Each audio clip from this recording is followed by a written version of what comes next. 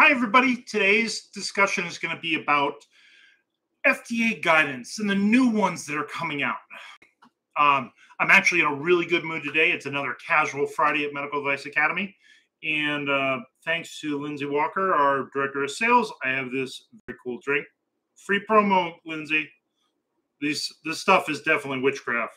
It, it says it only has two carbs, two net carbs, and it's gluten free, it's dairy free, it's keto, and it has caffeine and it tastes good. I don't know what they do, but thank you, Lindsay. Now back to the uh, really exciting stuff. Not, um, we're going to talk about FDA guidance documents that are brand new, um, that are coming out, and the ones that just came out. So the FDA dropped in the first month of the new fiscal year, October, a ton of guidance documents.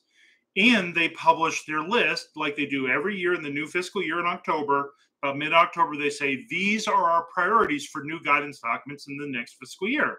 And they say, Here's our A list for final, our A list for drafts, our B list for final, and our B list for draft. And then a few years ago, they added to that here are the documents that are more than 10 years old that we're going to review. And they do retrospective reviews and they do it for 10 years old, 20 years old, and 30 years old.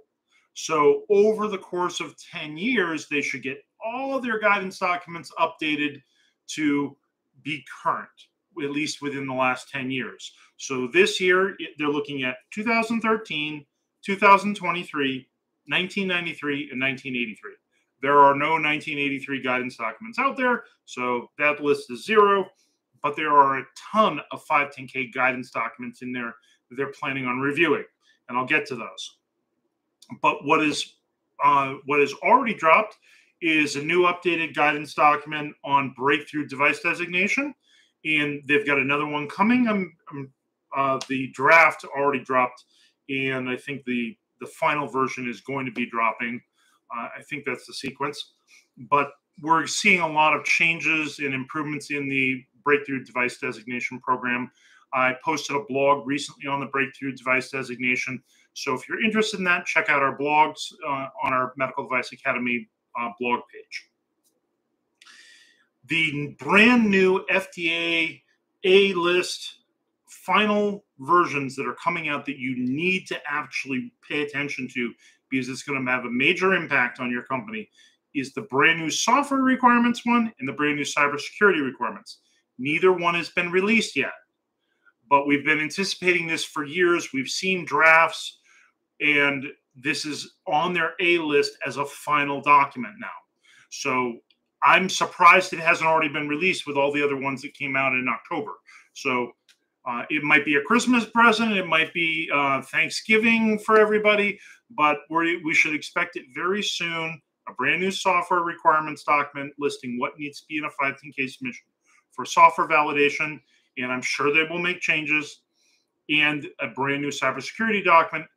And what we're expecting is the section of your submission that is just software right now is going to be software plus cybersecurity. So it's twice as much content now.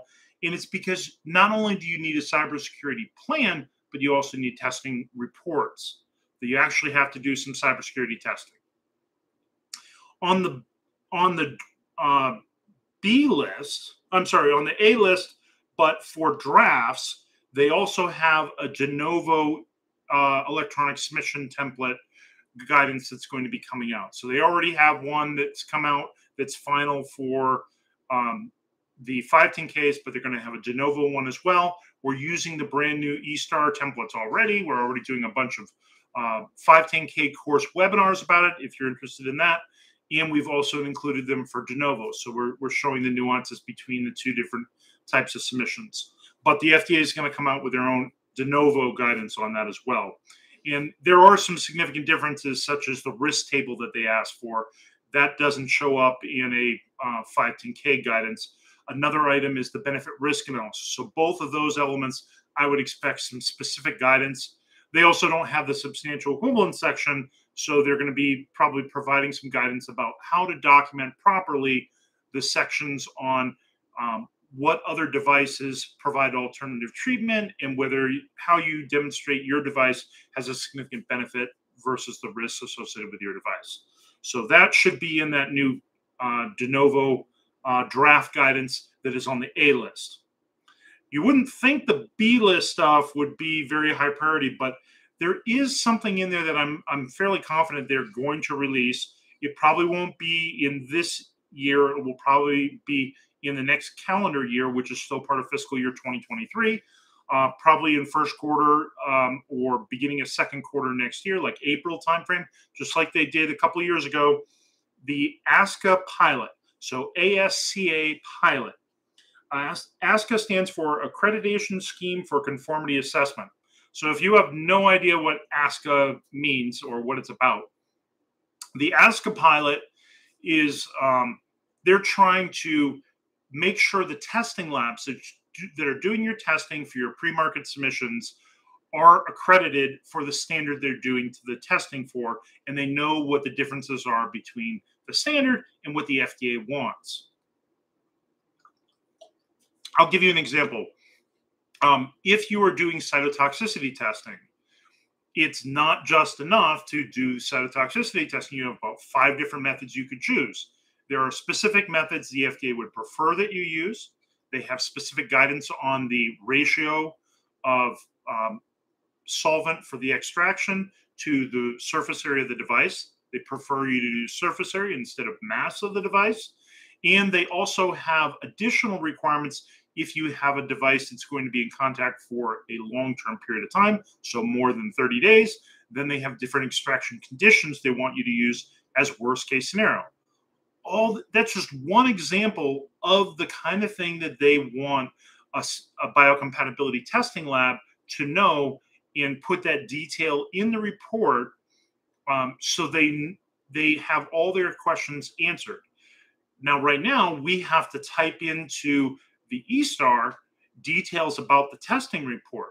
But if it was an ASCA test report, we would have a supplemental piece that was already provided by the testing lab.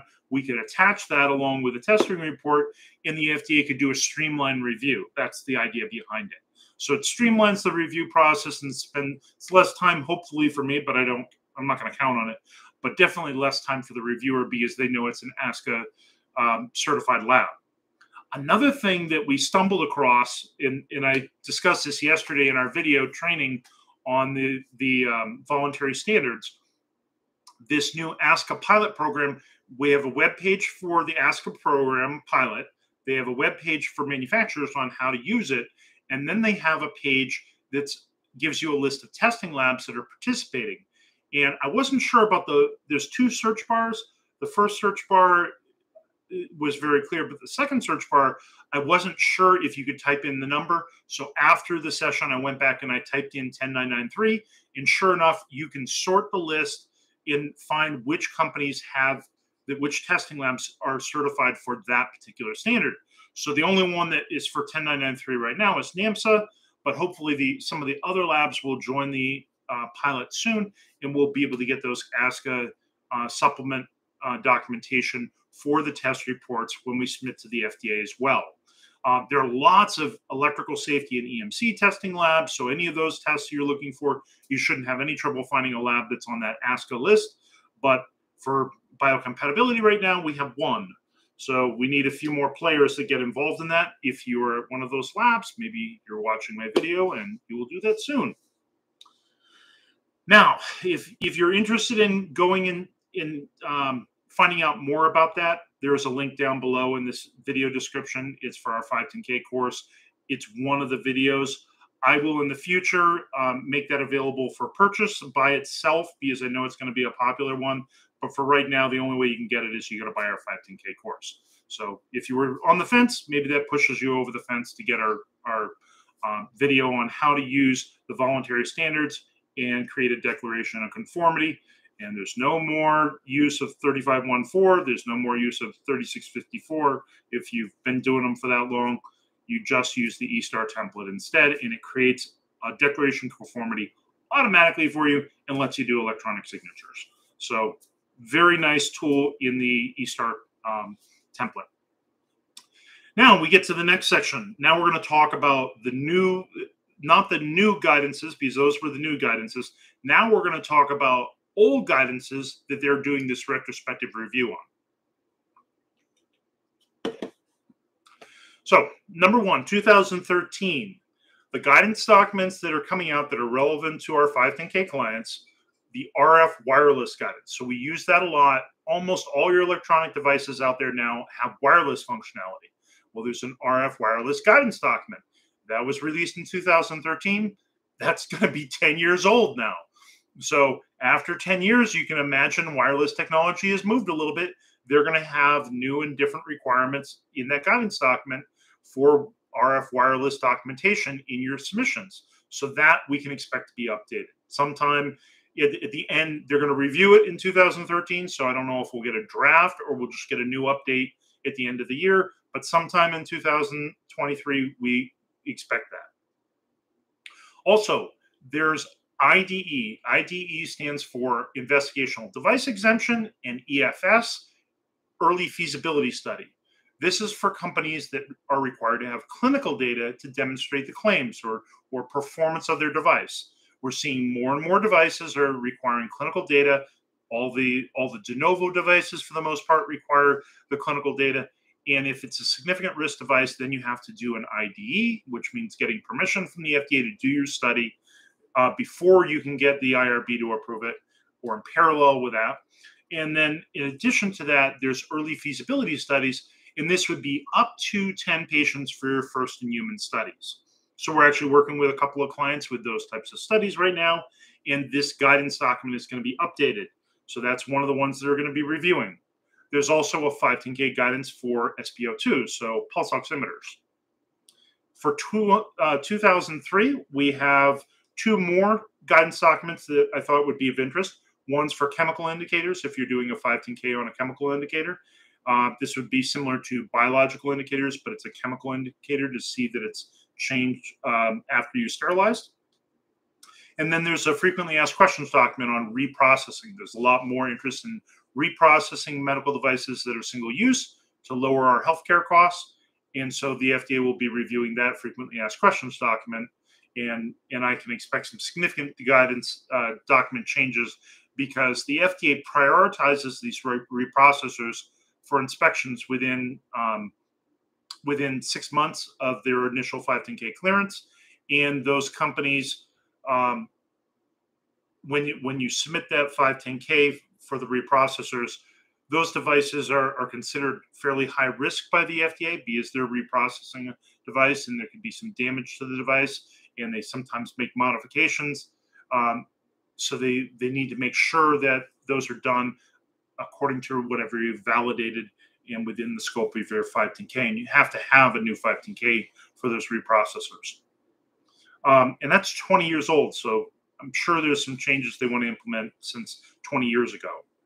Um, the third one we're looking at 30 years ago, 1993 there is a ton of 510K guidance documents for 1993. Um, if you think about the timing, um, the the QSR was implemented in 1996, but they were they were really starting to ramp up the 510K guidance documents. So the very oldest 510K guidance documents are from this time period.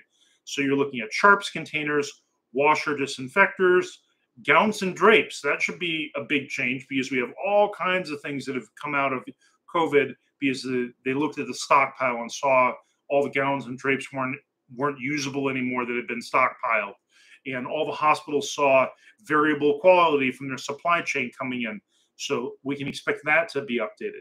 Syringes and needles. There were tons of changes that were made um, in the last decade to the standards, but those guidance documents are from 1993, 30 years old. So they predate any of the standards. So we can expect those to change uh, clinical thermometers. That one's going to change with all the the digital uh, devices that companies have come out with for measuring your the temperature of your face using thermographic systems. We can expect that to be updated. Sterilizers. There's been all kinds of new interest in sterilizers that don't use ethylene oxide. We can expect that to be updated. Uh, stents. That's going to be updated. So that's a very old product, but the all kinds of stent technology has changed over the years of the last 30 years. Now with uh, CAD CAM uh, cutting of stents in, in, different types of materials that are now available with nitinol. And then last but not least, we had biopsy devices. There have been all kinds of changes in biopsy and doing all kinds of tests for oncology, uh, taking smaller samples and taking them less invasively. So we can expect that to change. So uh, one, two, three, four, five, six, seven, eight, nine, ten, nine uh, guidance documents in 2023. I mean, sorry, 1993 that I was listing off um, that are going to be reviewed during the fiscal year 2023. So a ton of changes that you can expect to those guidance documents. Uh, plus, don't forget the A list final documents for software, um, what documentation is required for your software development, and what documentation and testing reports are required for cybersecurity. Those are being up updated. I don't know whether it's going to be a Thanksgiving present or it's going to be a Christmas present, but it, you're going to be lucky you're going to get this. And um, that'll be a whole lot more paperwork, twice as much uh, expected in your uh, eStar submissions.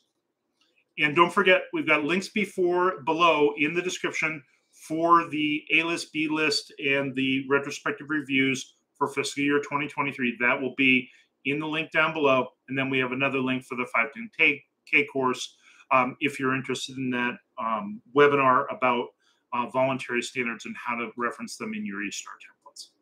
Thank you, everybody. I hope you have a fantastic Friday. And uh, thank you, Lindsay. Have a great day. Bye bye.